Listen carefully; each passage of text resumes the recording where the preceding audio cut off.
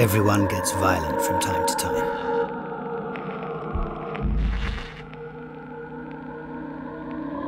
I knew I was scaring her.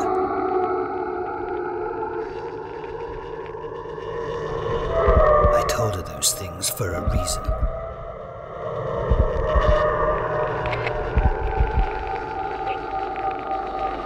I wanted her to feel what it's like to stand up for something.